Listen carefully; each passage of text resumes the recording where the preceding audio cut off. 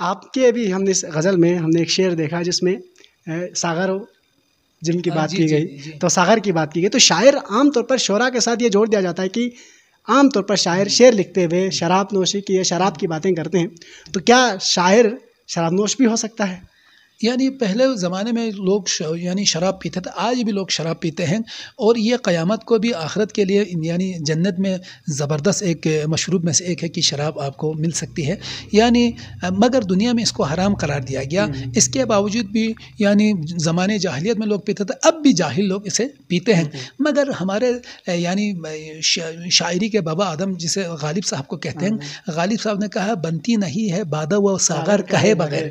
यानी ये अब इस्तलाहात में आ गए हैं तशबीहात इस्तारात में आ गए हैं। लिहाजा इस ज़िक्र के बगैर कहानी मुकम्मल नहीं होती है।